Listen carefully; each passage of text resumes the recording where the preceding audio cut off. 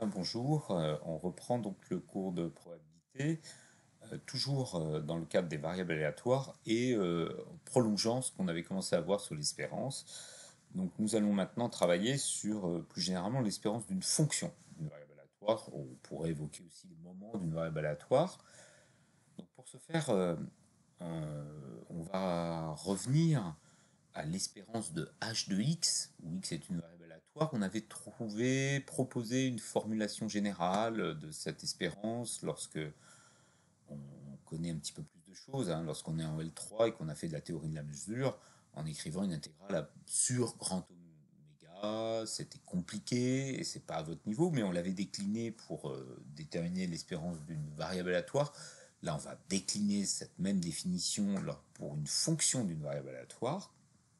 Donc pour cela, on va restreindre notre cadre à une fonction h qui est continue par morceau.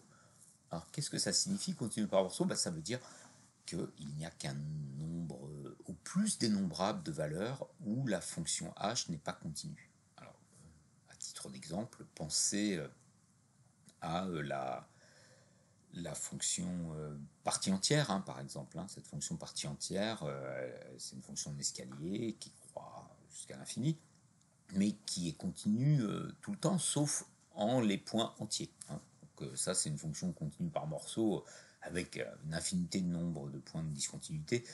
Vous avez vu, bien sûr, plein d'autres fonctions. Hein. Prenez 1 sur x, c'est une fonction qui est continue par morceau. si vous lui rajoutez, par exemple, la valeur 0 en 0, hein, pourquoi pas, il n'y aura que en 0 qu'elle ne sera pas continue.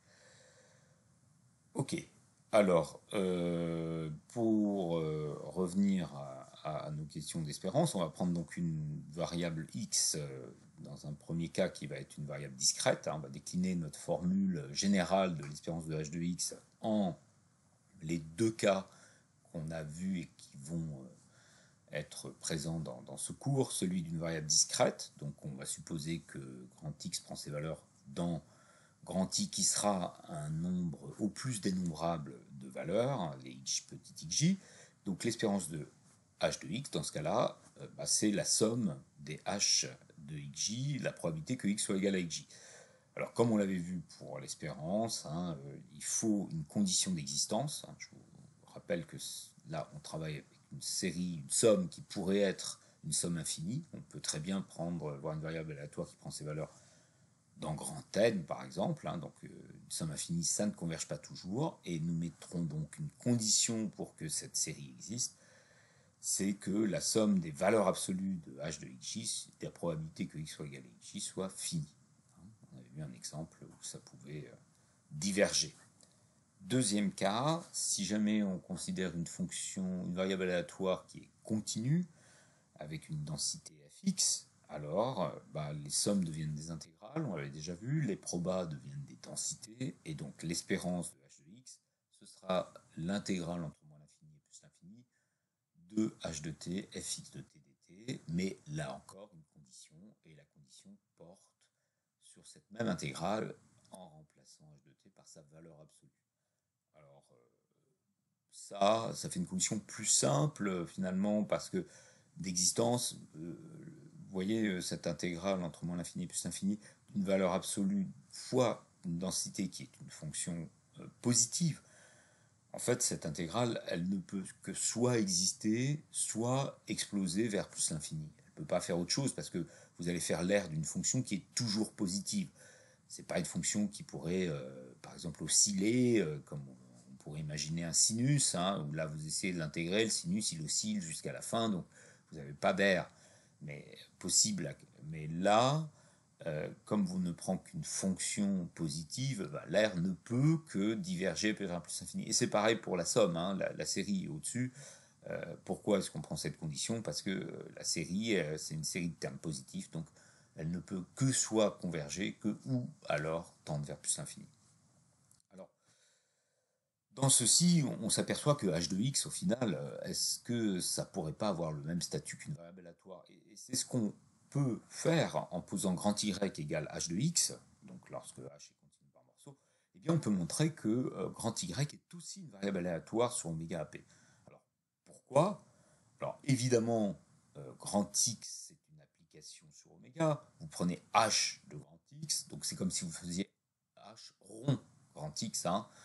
Donc vous avez la composée de deux applications, et donc vous avez une application. Donc il est bien clair que grand Y va de oméga dans grand R, ça c'est le premier point qu'on devait vérifier pour avoir une variable aléatoire. Le deuxième point qui est plus délicat, c'est celui de vérifier que euh, bah, l'événement grand Y plus petit, euh, par exemple qu'un petit, petit x, hein, eh ben, c'est quelque chose qui est, c'est un événement de A. Alors ça c'est un petit peu plus difficile. je propose ici une preuve un petit peu rapide. Hein. Euh, mais finalement, comme H est continu par morceaux, il est bien clair que euh, bah, l'événement, euh, l'image réciproque de moins l'infini x par h, eh bien c'est une union d'intervalles. Hein. C'est une union finie d'intervalles. Alors, fini lorsque, d'ailleurs ici, fini, c'est lorsque la fonction est contenue par morceaux sur euh, et qu'elle n'a qu'un nombre fini, euh, grand M au plus, de discontinuité. Si jamais vous aviez une infinité de discontinuité, ce serait une union dénombrable. Hein. Euh, il faudra aller jusqu'à l'infini, mais ça reste dénombrable. Donc au final, si maintenant vous réutilisez ça, qu'est-ce que ça veut dire? Que h de x, c'est-à-dire la variable y, hein, est plus petit ou égal à x Eh bien, ça revient à dire que chacun des x appartient aux différents IK. Donc ici, euh, si vous avez grand M discontinuité, eh ben vous faites une union sur euh, k égale à un grand M. Si vous avez un nombre dénombrable de discontinuités, hein, vous allez euh, avoir une union dénombrable et donc vous irez de k égale à 1 à l'infini. Donc ça, ça veut dire que vous avez cette union dénombrable. Or, on sait par définition d'une tribu que bah, comme chaque chaque euh, événement grand X appartient à IK, bah, ça, IK étant un intervalle, eh bien, ça, c'est un événement, chacun de ces grands X appartient à IK, c'est un événement de A. Alors, on le sait, parce que grand X plus petit ou égal à X, c'est un événement de A, donc si jamais vous prenez le complémentaire, eh ben, c'est grand X plus grand strictement. Si vous prenez euh, l'intersection, eh ben, vous allez euh, pouvoir obtenir n'importe quel intervalle par ce biais. Donc euh, il est bien clair que l'événement grand X appartient à IK, c'est un événement de A, et on sait par définition de tribu que si vous avez des, dénombrables d'événements qui, qui, sont chacun dans la tribu, forcément leur union dénombrable ou leur intersection dénombrable appartient à la tribu. Donc euh, on a bien une variable aléatoire avec grand Y. Et donc euh, l'espérance de h de x, eh bien, c'est l'espérance de cette variable aléatoire y, et elle existe si la valeur absolue a elle-même une espérance. Euh, on pourrait résumer ce que je viens de décrire à partir de grand Y. Alors on va voir quelques propriétés de la notion d'espérance et d'espérance euh, aussi d'une fonction de variable aléatoire, hein, ou de plusieurs variables, aléatoires. Donc ici, on va se placer dans le cas où on a deux variables aléatoires sur le même espace probabilisable ou de probabilité, hein, disons oméga. La première chose, c'est que si x est une constante, eh bien l'espérance de x, c'est cette même constante. quand on a en tête l'idée que l'espérance, c'est une sorte de moyenne théorique, on n'est pas très surpris pas de la constante. Donc évidemment, sa moyenne théorique, ce sera cette même constante. Deuxième point plus délicat, si vous prenez une fonction h qui est continue par morceau, vous prenez non pas euh, h de x comme on l'a vu juste avant, mais h de x et de y, eh bien euh, la variable grand Z, qui donc h de x et de y, est aussi une variable aléatoire sur Troisième point, si vous avez la variable grand X qui est supérieure ou égale à la variable grand Y, euh, ça veut dire quoi? Ben, C'est deux applications, on n'oublie pas. Hein. Ça veut dire que pour toute petite oméga appartenant à grand oméga, grand X de petit oméga est plus grand ou égal à grand Y de petit oméga. une de fonctions. On n'oublie pas que des variables aléatoires sont des fonctions. Et bien à ce moment-là, vous avez l'espérance de x qui est supérieure ou égale à l'espérance de y. Évidemment, ici, on suppose que chacune de ces espérances peut être calculée, donc que l'espérance de la valeur absolue de x et de la valeur absolue de y sont de nombres finis. Enfin, dernière propriété, si vous prenez c une constante, l'espérance de x plus cy, eh bien c'est l'espérance de x plus c, l'espérance de y. Euh, ça, et encore une fois, si euh, les deux espérances existent, donc si l'espérance des valeurs absolues est finie. Bon, alors cette dernière propriété servira beaucoup. Hein. On parlera euh, de la propriété de linéarité de l'espérance. Comment démontre-t-on la première propriété, la plus simple de ces quatre propriétés, celle qui dit que quand on a une constante, l'espérance, une variable aléatoire qui est une constante, hein, bah, son espérance, c'est cette même constante eh bien, euh, bah, qu'est-ce que c'est que grand x égale a? C'est une variable discrète. Et donc, vous avez p de x égale a qui vaut 1. Je reprends la définition de ce que c'est l'espérance. Euh, c'est, on le sait, hein, la somme euh, des petits xj, probabilité que x soit égal à xj. Ici, la somme, c'est qu'une seule valeur. le xj, il n'y a qu'une seule valeur, c'est a, et la probabilité, c'est 1. Donc ça fait a fois 1, et donc ça fait a. Deuxième euh, propriété qui nous dit que quand on prend un z de h égale à h de x et de y, c'est encore une variable aléatoire. Alors la première chose qu'on peut voir qui n'est pas difficile par contre, c'est que z, c'est aussi une application qui va euh, de oméga dans R. Pourquoi?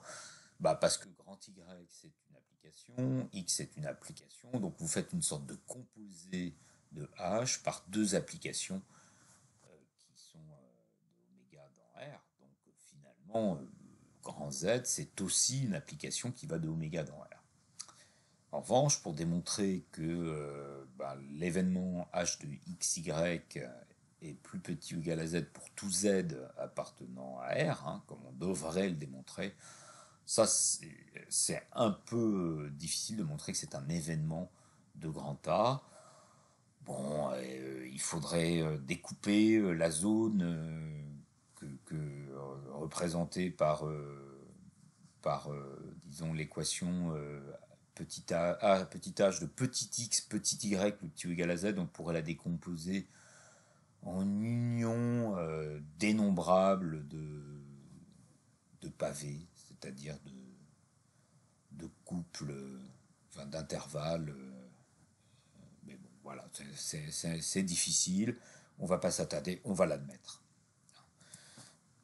Troisième propriété, on veut montrer donc que l'espérance, quelque part, conserve euh, l'ordre. Bien, on revient à cette définition d'espérance qui s'écrivait euh, avec cette formule compliquée, hein, mais c'est une intégrale, quel que soit le cas, qu'on soit discret, qu'on soit continu, c'est cette intégrale-là. Donc si vous l'écrivez sous cette forme-là, que ce soit e de x et e de y, bah, on voit qu'on a deux intégrales. Vous avez à l'intérieur finalement les applications X et Y. Et ça, vous savez euh, classiquement, et ce sera aussi valable pour ce type d'intégrale, que si, que si une fonction g est plus grande qu'une fonction f, eh bien l'intégrale de g, est, sur n'importe quelle borne, hein, est plus grand de que l'intégrale de f sur ces mêmes bornes.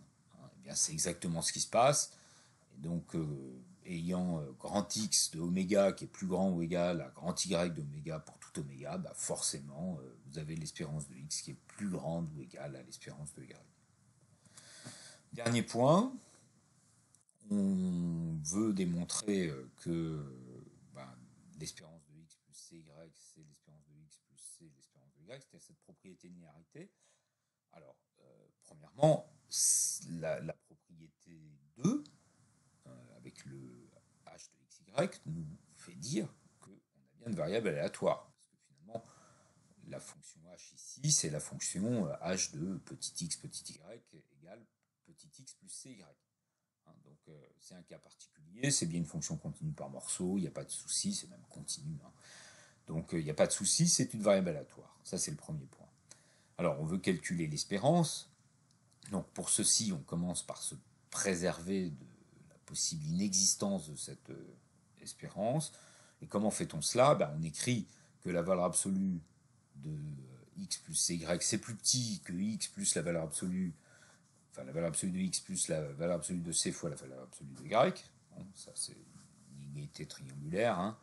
Et euh, finalement, euh, bah, vous pouvez utiliser la propriété 3, et donc euh, l'espérance de valeur absolue de x plus cy, c'est plus petit que cette même espérance de de, x plus cy, et en fait, en décomposant, vous allez voir que euh, forcément ça existe, puisque chacune des espérances de valeur absolue de x et de valeur absolue de y existe. Et eh bien maintenant, on, réutilise cette propriété de linéarité euh, de l'intégrale. Hein. Vous savez que ce qui est fait là, hein, c'est de dire que l'intégrale de, euh, d'une fonction f plus une fonction g c'est l'intégrale de f plus l'intégrale de g, c'est quelque chose que vous connaissez. Et si vous mettez une constante, vous pouvez sortir la constante. C'est exactement ce que l'on fait là. On garde en tête euh, le fait qu'une euh, espérance, c'est une intégrale, et donc euh, ça a les propriétés de linéarité d'une, d'une intégrale. Donc voilà, ces quatre propriétés, on les retient. On va en voir une première conséquence maintenant, par le fait que finalement, quand vous avez l'espérance du carré d'une variable aléatoire qui existe, alors l'espérance de la valeur absolue de cette variable aléatoire existe. Alors pourquoi? Bah, Simplement en utilisant une inégalité qui va nous dire que la, valeur absolue c'est plus petit que 1 demi fois 1 plus x2. Alors d'où cette inégalité Alors c'est pas très difficile à montrer. Hein vous passez, vous avez un i, vous passez le 2 de l'autre côté, donc vous aurez deux valeurs absolues de x plus petit ou égal à 1 plus x2. Et si vous repassez euh, le, 2 valeurs absolues de x euh, avec le 1 plus x2, ça vous fait 1 plus x2 moins 2 valeurs absolues de x. Et ça, qu'est-ce que c'est? Eh bien, c'est juste 1 plus valeur absolue de x, le tout au carré. Et ça, puisque c'est un carré, euh, 1 moins valeur absolue, excusez-moi, 1 moins valeur absolue de x, le tout au carré. Et donc, puisque c'est un carré, c'est forcément positif ou nul. Hein. Donc, cette deuxième, cette inégalité-là, eh bien, elle implique que l'espérance de valeur absolue de x, c'est plus petit que, euh, bah, finalement, euh, l'espérance de 1,5 fois 1 plus x2. Or, on sait calculer euh, maintenant, avec la quatrième propriété, l'espérance de la somme de deux fonctions on sait calculer l'espérance d'une constante, donc l'espérance de 1,5 c'est 1,5, et l'espérance de x2, d'un 1,5 espérance de x2, bah, on vient de voir que ça existe, puisque c'était ce qu'on avait posé comme condition. Donc l'espérance de valeur absolue de x existe bien, lorsque l'espérance de x2 est finie. Alors ceci va nous permettre de définir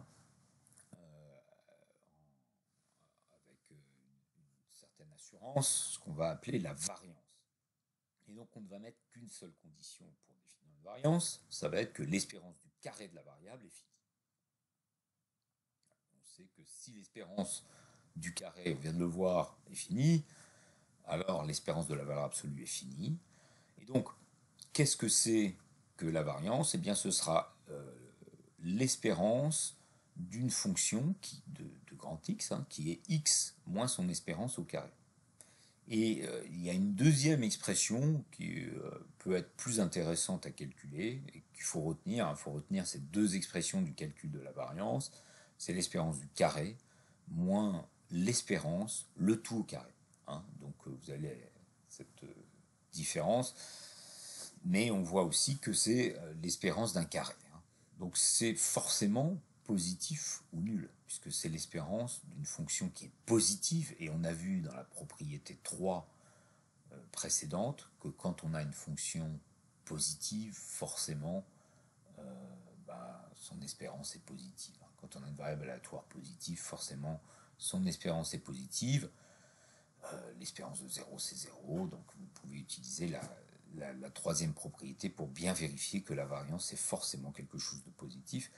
Et ensuite, euh, quand on voit la, deuxième écriture de la variance, on voit que la variance de x, eh ben, c'est forcément plus petit ou égal à l'espérance de x2, et comme on a supposé que l'espérance de x2 est finie, forcément la variance est finie. Bon, alors on a quand même à démontrer quelque chose. bon, ça, on reprend le fait que déjà, si l'espérance de x2 est finie, alors l'espérance de la valeur absolue de x est finie, donc l'espérance de x existe, et donc on peut considérer comme fonction la fonction h de x qui est x2 moins l'espérance de x au carré. Et donc, bah, finalement, l'espérance euh, de la valeur absolue de cette fonction existe, donc on peut calculer l'espérance de h de grand x.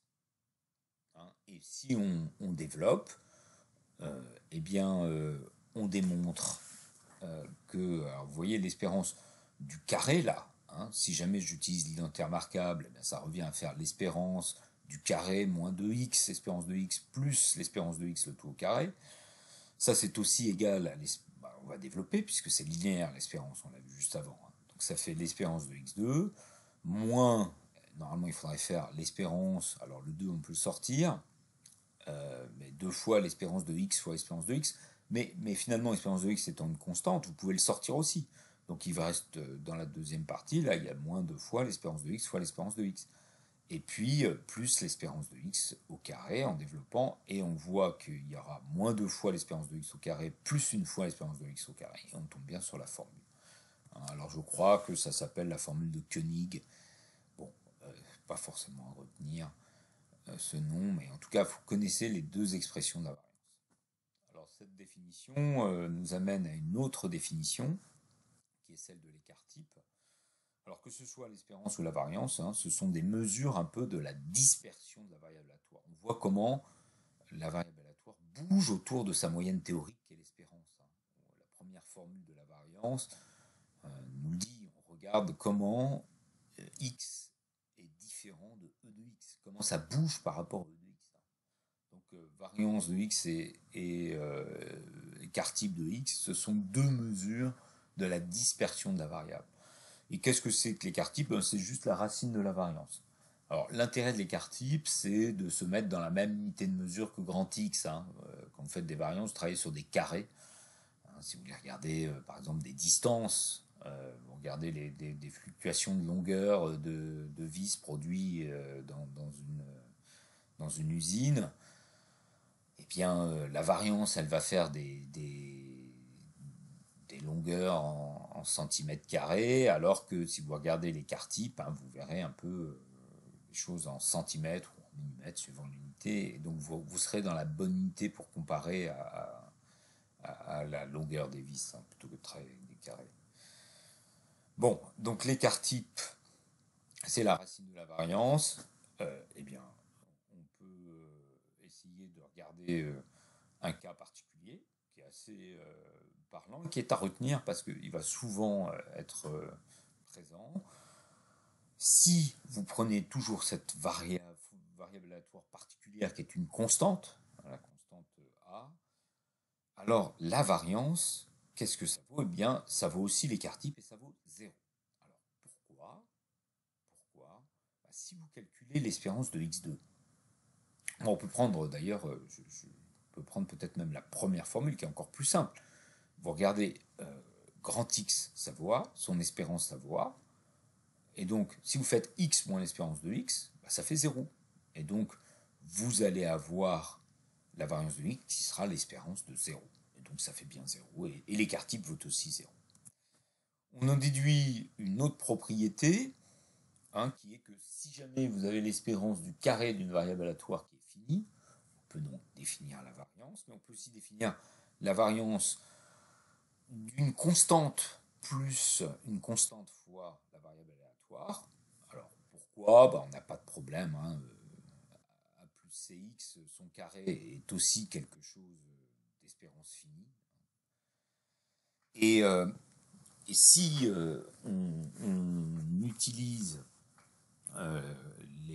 la, formule précédente, hein, vous allez faire la variance de A plus Cx. Si jamais euh, en, réutilisant euh, la, formule, la définition, hein, euh, vous allez avoir A plus CX, vous allez retirer son espérance, et puis vous allez prendre le carré. Mais qu'est-ce que c'est que l'espérance de A plus CX? Eh bien, il y a le A, et puis il y a le plus c espérance de x. Donc quand vous faites x moins espérance de x, dans ce cas-là, il n'y a plus de a. Et vous avez c fois x moins son espérance de x. Donc, finalement, quand vous regardez l'espérance de c euh, de x moins espérance de x au carré, hein, c'est bien cette définition de la variance, eh vous allez faire apparaître un c carré et vous aurez la variance de x. Donc euh, une expression qui simplifie. En gros, hein, rajouter une constante à une variable aléatoire, ça ne change rien pour la variance ou pour l'écart type. Ça, ne modifie en rien. C'est normal, on sait que la variance mesure la dispersion. Donc si vous avez translaté votre variable, pour autant elle ne gigote pas plus, elle, bouge de la même manière.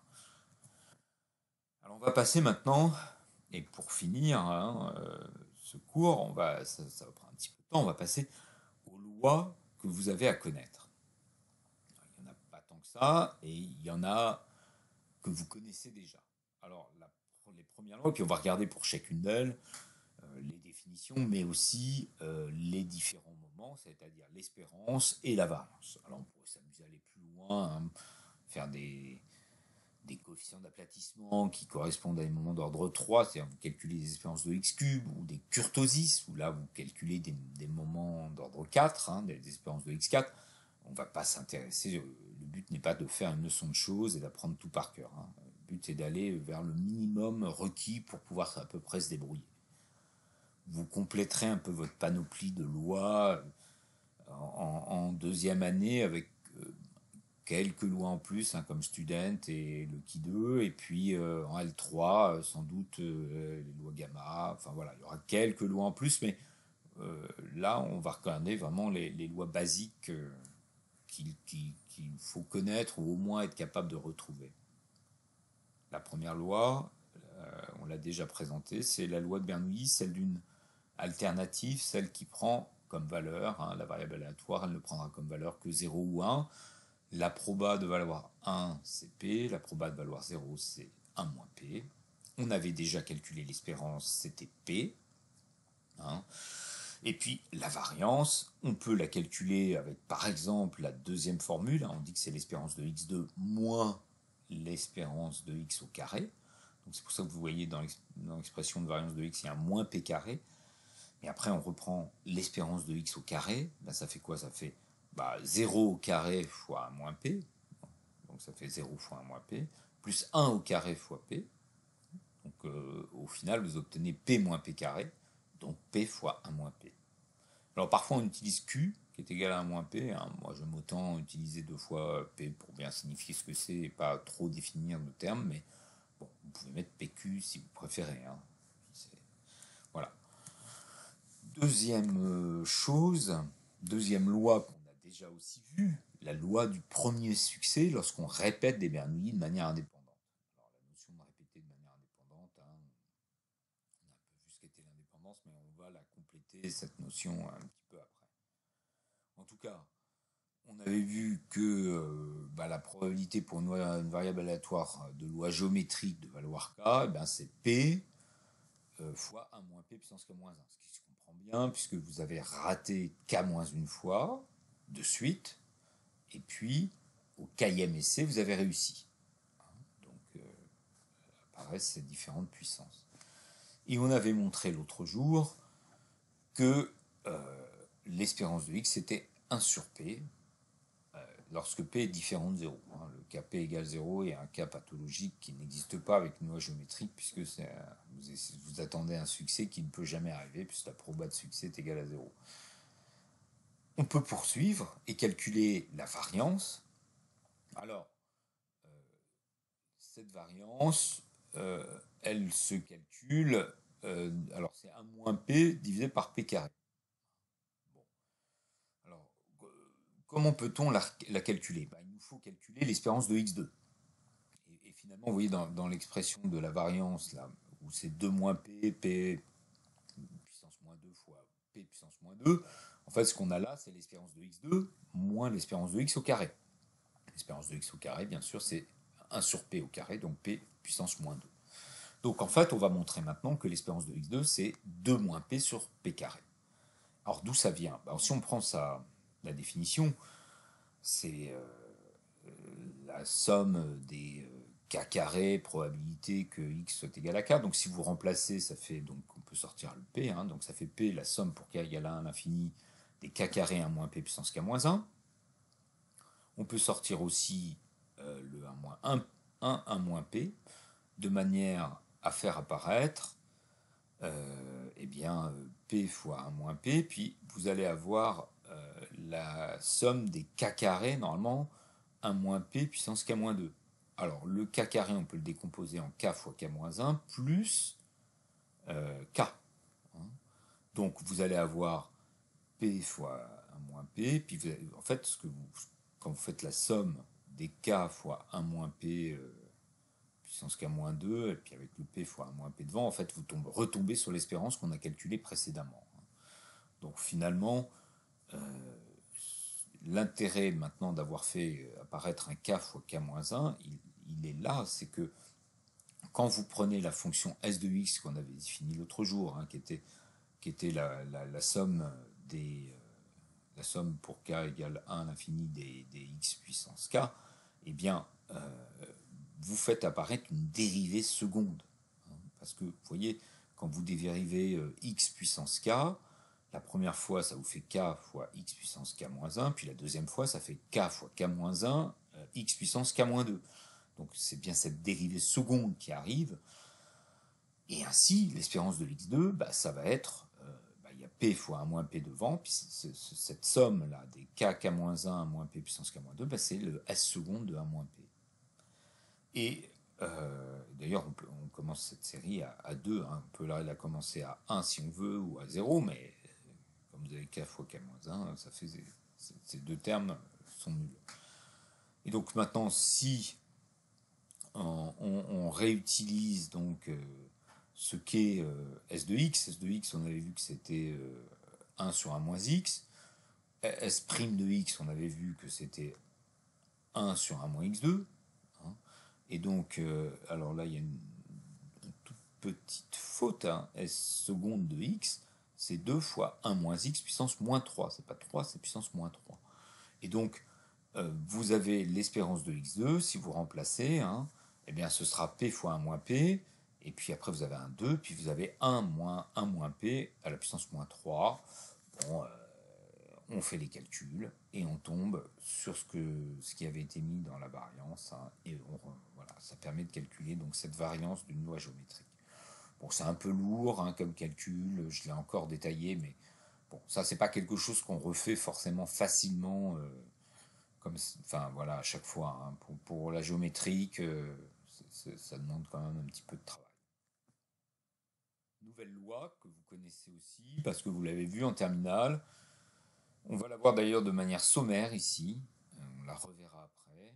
Euh, on va parler de la loi binomiale. Donc la loi binomiale, c'est lorsque vous répétez une expérience une alternative, hein, un succès-échec par exemple, hein, ou un pile-face, ou vous répétez ça, puis vous regardez, lorsque vous répétez n fois, vous regardez euh, le nombre de succès, hein, parce que vous répétez de manière indépendante. Alors, je vais donner directement la loi, et cette loi, vous la connaissez aussi, c'est euh, donc une variable qui va prendre ses valeurs entre 0 et n, puisque vous répétez euh, n fois, puis donc vous regardez le nombre de succès, donc vous pouvez en avoir de 0 jusqu'à n. La probabilité que x est égal à k, eh bien c'est cnk, la combinaison, hein, cnk, p puissance k moins p puissance n moins k. ça c'est bien connu. D'où ceci est bien une loi de probabilité. Alors, on peut en revenir à la déconstruction du dénombrement. On peut simplement aussi faire un peu de calcul.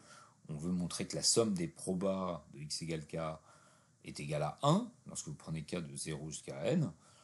Et on peut utiliser ici la formule du binôme, qui vous dit que pour tout a et b, a plus b à la puissance n, c'est la somme des cnk a puissance k, b puissance n moins k.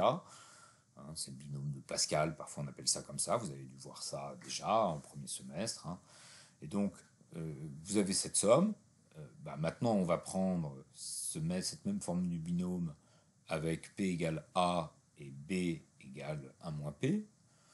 Et donc, vous retombez bien sur la somme des probas, dans ce cas-là, hein, puisque vous allez avoir la somme des CNK, P puissance K moins P puissance N moins K. Et lorsque vous faites A plus B puissance N, ben, vous faites P plus 1 moins P puissance N. Et P plus 1 moins P, eh bien c'est 1. Et 1 à la puissance N, c'est 1. Donc vous montrez bien ainsi que la somme des probas vaut bien 1. Donc c'est une loi de proba sur l'ensemble des valeurs de 0 à n, valeurs entières. Alors l'espérance et la variance, eh bien on pourrait s'amuser à partir de cette même formule, on pourrait s'amuser à la calculer. Hein. Là aussi, il faudra faire des ruses, dérivées, bon. Mais euh, on ne va pas faire des ruses là.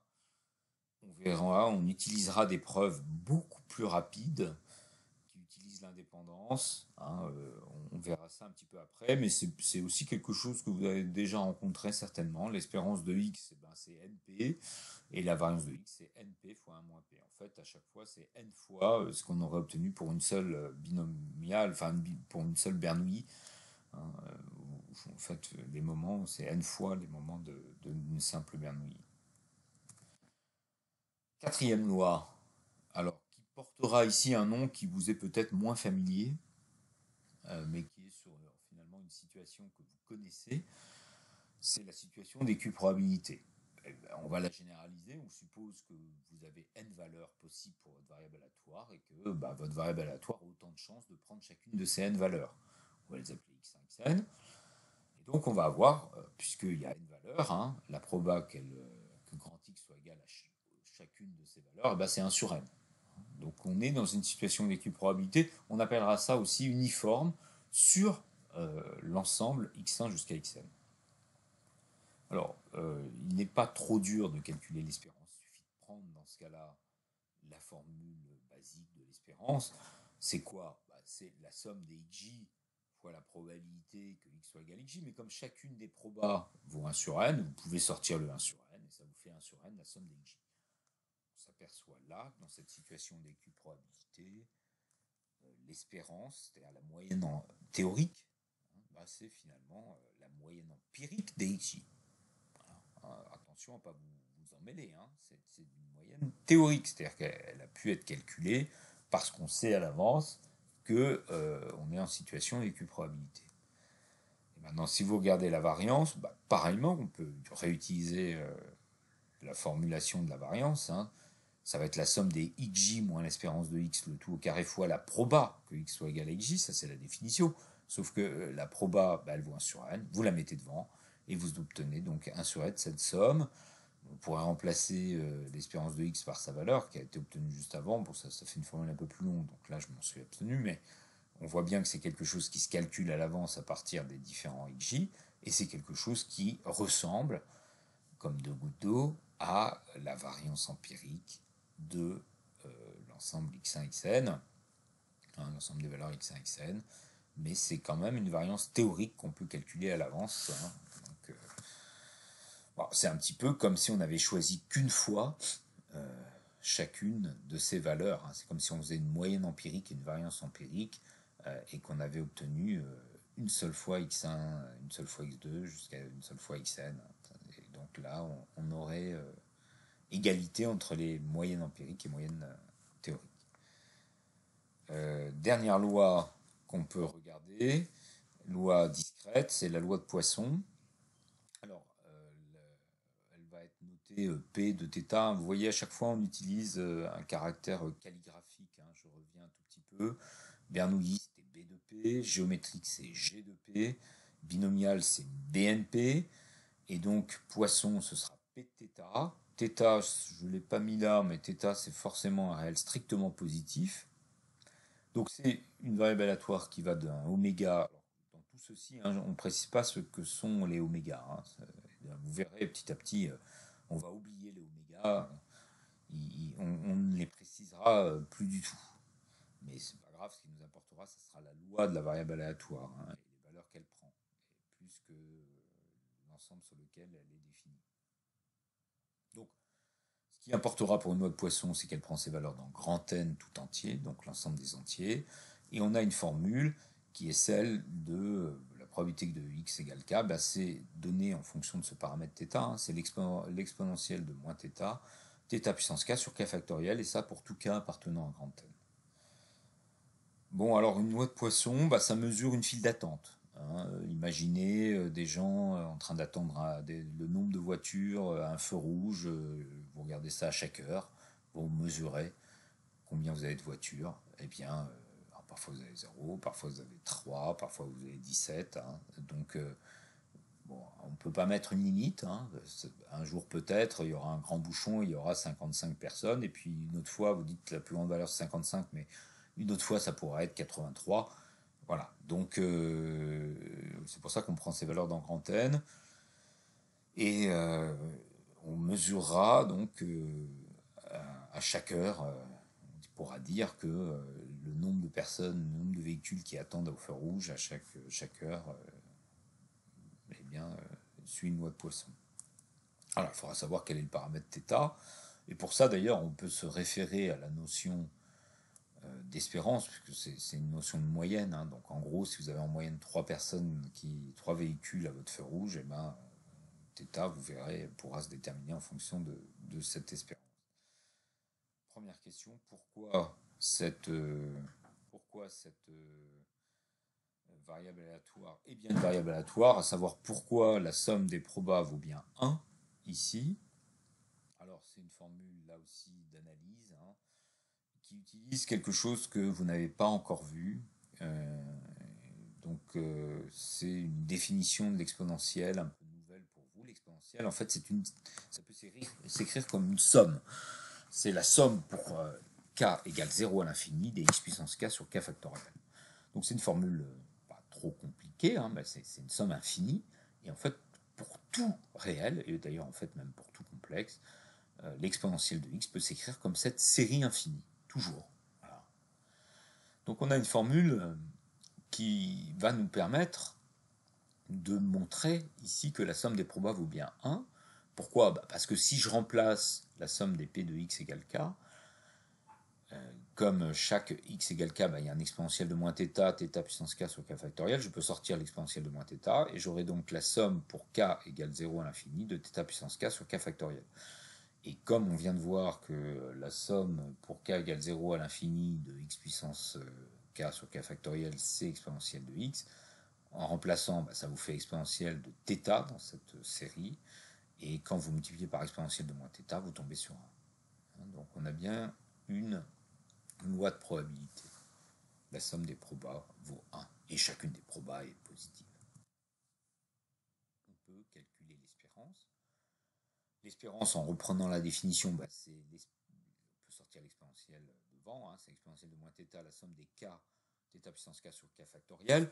Bon, k sur k factoriel, eh ben, on peut faire une somme alors qui commencera à 1 mais on aura euh, k égale 1, et puis ça fait un k moins 1 factoriel au dénominateur, hein, parce que k, factoriel, ben, c'est k fois k moins 1 fois k moins 2, donc euh, si vous éliminez le k, il vous reste k moins 1 factoriel. Et puis, euh, bah, comme on commence à 1, je peux me permettre aussi de factoriser par θ en haut. Hein, donc, au lieu d'avoir θ puissance k, bah, j'ai θ fois θ puissance k moins 1, je sors le θ. Donc vous avez θ fois exponentielle de moins θ, puis vous avez une somme pour k égale 1 à l'infini de θ puissance k moins 1 sur k moins 1 factoriel. Changement d'indice, euh, je prends k' égale k moins 1. À ce moment-là, ma série commençant de, en 1 et finissant à l'infini, bah, si je prends k' qui est égal à k moins 1, bah, ça commencera en 0 jusqu'à l'infini. J'aurai à ce moment-là θ puissance k', et puis euh, divisé par k' factoriel. Ben, ça, je retombe sur ma formule de l'exponentielle, c'est exponentielle de θ à nouveau. Donc j'ai θ fois exponentielle de moins θ fois exponentielle de θ, et au final, je tombe sur θ. Donc l'espérance, c'est le paramètre θ. L'espérance, c'est la moyenne, la moyenne théorique. Alors la variance, eh bien, euh, on prend la, la formule, par exemple, avec euh, l'espérance de x2 moins l'espérance de x au carré, donc euh, il y a bien le moins θ au carré, puis vous avez l'exponentielle de moins θ, la somme des carrés, des k carrés, θ puissance k sur k factoriel, eh bien, en fait, euh, après calcul, ça fait grand θ, ce calcul, cette, variance. Alors, d'où ça sort? Euh, euh, bah, ça sort que la somme des carrés, des k carrés, bah, vous la décomposez comme tout à l'heure en une somme des k k-1. Et, et donc ça se décompose suivant ce qui est écrit là. Hein, on, sortit le k k-1, bah, vous rajoutez plus k. Hein. k carré c'est k fois k-1 plus k. Donc il y a un k qui sort. Et vous allez maintenant dans la deuxième partie, bah, vous voyez que le k factoriel, euh, bah, quand vous avez un k k-1 au numérateur, eh ben, ça devient un k-2 factoriel. Et puis vous pouvez commencer votre série à 2. Et comme tout à l'heure, au lieu de travailler avec θ puissance k, bah, vous travaillez avec θ puissance k-2 en sortant un θ carré devant. Donc vous allez obtenir pour la première partie un θ carré exponentiel de moins θ, la somme des θ puissance k-2, k-2 factoriel, avec une somme qui commence à k égale 2, mais comme tout à l'heure, vous pouvez faire un changement d'indice. Vous prenez k' égale k-2, et vous retombez sur la somme des θ puissance k sur k, enfin θ puissance k' sur k' factoriel, et donc vous avez un exponentiel de θ. Donc euh, la première partie ça fera θ carré exponentielle de moins θ fois exponentielle de θ, hein, cette partie euh, ici, là. Et puis après, euh, donc il vous restera plus que θ2. Et puis après, vous avez un plus θ qui est lié à cette partie-là où j'ai sorti euh, le k. Mais ça, on l'a déjà calculé tout à l'heure, hein, donc c'est l'espérance. Donc vous avez un θ carré plus θ. Et puis si je reprends ma formule juste au-dessus, la formule juste dessus, bah, je retirais un θ carré. Donc j'ai θ carré plus θ moins θ carré, donc il me reste au final θ. D'où la formule de la variance. Voyons maintenant les lois continues à connaître. Alors il y en a moins, il n'y en a que trois.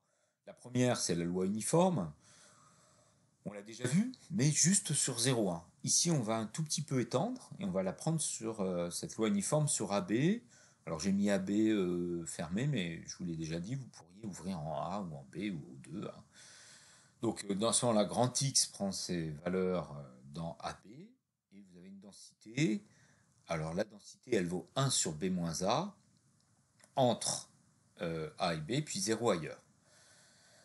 Alors, bon, vous voyez bien que l'air hein, que vous allez constituer, euh, l'air, bah, c'est une fonction qui vaut 1 sur b moins a. Vous la prenez sur une longueur entre a et b. Hein, donc euh, finalement, euh, vous pouvez faire l'air d'un rectangle hein, de longueur b moins a et de hauteur, de largeur 1 sur b moins a. Donc cet air-là, eh ben, c'est 1, parce que ça fait b moins a sur b moins a. Ok, donc c'est bien la bonne densité qu'il faut. On sait que pour être uniforme, il faut avoir la même densité partout. Ce qu'on veut, c'est que euh, n'importe quel intervalle ait la même proba, donc euh, on va prendre la même densité sur tout l'intervalle AB, et puis on prendra 0 ailleurs. Donc ça, c'est naturel. Si vous calculez l'espérance, c'est un petit calcul d'intégrale. Vous allez faire l'intégrale de t dt sur b-a. On l'a vu, l'intégrale de t, c'était carré sur 2. vous faites ça, il y aura un, donc si vous intégrez, hein, il y a 1 sur b-a qui et puis vous allez avoir euh, b carré euh, moins a carré, le tout sur 2. Or, b carré moins a carré, bah, c'est b moins a fois b plus a. Et donc les b moins a s'éliminent et reste a plus b sur 2. Donc en fait, c'est le point milieu. Hein. Ça, ça, apparaît pas vraiment là, mais a plus b sur 2, c'est le point au milieu euh, de a et b. Hein. c'est assez normal finalement. Hein. Comme quand on prenait la variable uniforme sur 0,1 les nombres pris entre 0 et 1 au hasard par une calculatrice, on conçoit bien qu'en moyenne, vous allez obtenir une valeur de 0,5 en moyenne théorique.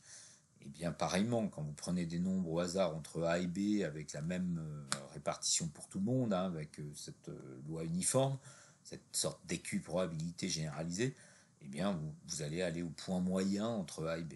Hein. Si vous regardez la variance, le calcul est un tout petit peu mais pas tant. Hein. Vous allez intégrer t carré, finalement, euh, fois la densité, mais entre a et b. Et puis vous retirez l'espérance au carré. Bon, intégrer t carré, ça fait faire un t cube sur 3. On peut même mettre au même dénominateur. Hein, t cube sur 3, bah, vous allez même mettre ça sur 12 parce que A plus B sur 2 au carré, bah, il y a un dénominateur en 4. Donc pour mettre tout, sous le même dénominateur, on met ça sur 12. Donc le premier morceau, comme il était sur 3, bah, ça vous fait un 4 devant. Donc ça vous fait un 4 B cube moins A cube, puisqu'on a dit c'était cube sur 3, hein, une primitive de T2. Donc c'est B cube moins A cube sur B moins A. Et puis euh, le deuxième morceau, bah, vous mettez un moins 3 devant, puisque vous divisez par 4, hein, comme on veut mettre au même dénominateur 12, c'est ce qu'il faut. Bon, vous faites le calcul, euh, vous allez avoir 4b cube moins 4a cube, et puis euh, vous, pourriez mettre b moins a en facteur, hein. b cube moins a cube, bah, ça s'écrit comme b a fois b carré plus ab plus a carré. Vous allez comme ça faire disparaître le B-A du dénominateur. Vous pouvez ensuite faire le développer ça avec euh, le terme suivant et vous tombez au final sur B-A au carré sur 12. Je vous invite à refaire le calcul, hein. il n'est pas très difficile, mais voilà, vous, en aurez l'assurance. B-A au carré sur 12, on voit bien que plus A et B sont proches, évidemment, plus la variance est petite. Hein. Votre variable X, elle est toujours entre A et B. Hein. Deuxième loi qu'on avait déjà un peu vue, la loi exponentielle, et que vous aviez vu en terminale pour la plupart d'entre vous, une densité qui vaut lambda exponentielle de moins lambda x euh, sur le nombre positif et qui vaut 0 ailleurs. L'espérance valait 1 sur lambda. La variance, elle vaut bah, une nouvelle fois l'espérance du carré moins euh, l'espérance de x au carré, c'est-à-dire moins 1 sur lambda 2. Et au final, on trouve 1 sur lambda 2, d'où ça vient? Si vous faites l'espérance du carré, vous allez faire encore une intégration par partie. Hein, vous avez t carré euh, lambda, donc vous allez prendre euh, le t carré, vous allez le dériver, et le lambda exponentiel de moins lambda t, vous allez le primitiver. Donc une primitive de lambda exponentielle de moins lambda t, bah, c'est moins exponentielle de moins lambda t, donc euh, c'est ce qui apparaît après dans le crochet, ici. Hein, et donc, moins ça fait moins t carré exponentielle de moins lambda t. Il y a un plus parce que ça fait moins et moins, puisqu'il y avait un moins exponentielle de moins lambda t. Il y a un 2 parce que vous avez dérivé t carré, c'est 2t. Et donc vous allez faire plus 2 fois l'intégrale de t lambda de moins lambda t. Et puis là, on reconnaît euh, euh, on reconnaît euh, alors il y a un lambda il y a un lambda en trop dans cette formule il ne devrait pas y avoir de lambda là. Hein. Euh, donc il faut enlever ce lambda. Euh, et euh, bah, on reconnaît la formule de l'espérance. Justement, s'il y avait le lambda, il y aurait la formule de l'espérance. mais en fait, il faudrait on peut garder cette formule, il faudrait diviser par lambda. Et c'est pour ça que là, vous avez deux espérances de x divisées par lambda. Comme l'espérance de x est 1 sur lambda, ça fait donc 2 sur lambda 2, sachant que le crochet, lui, vaut 0. Donc on obtient 1 sur lambda 2. la dernière loi à connaître, on va la diviser en deux parties. Alors c'est une loi très célèbre qui va beaucoup être utilisée, c'est ce qu'on appelle la loi gaussienne, on dit aussi la loi normale. Hein. Et dans le premier cas, je vais m'intéresser à la loi normale 0,1.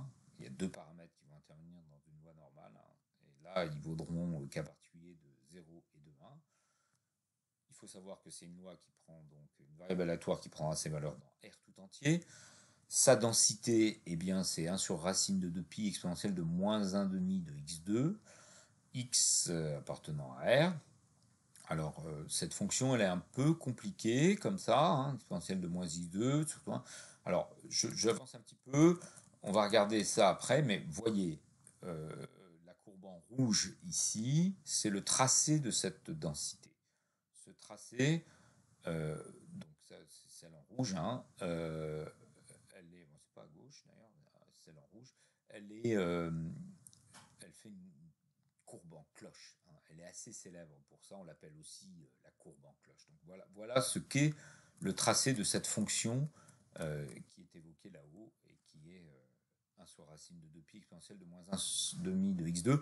Le racine de pi peut vous apparaître un petit peu surprenant. En fait, il est là pour que ce soit bien une densité. Et pour ça, on va utiliser un résultat qu'on admettra, parce que pour le démontrer, il faut plutôt des connaissances de L2, voire plus. Bah, en fait, l'intégrale de moins l'infini à plus l'infini exponentielle de moins 1 demi t2, bah, c'est racine de 2pi. Ah, bah, ce qui fait que vous avez bien l'intégrale de fx qui vaut 1. Alors, dans ce cas-là, dans le cas d'une loi normale 0,1, l'espérance, elle vaut 0. Alors, pourquoi? Bah Parce que vous allez intégrer, euh, vous voyez, là j'ai remplacé, euh, j'ai pris la formule, hein, il y a un t fois la densité, donc c'est t exponentielle de moins 1,5 de t2.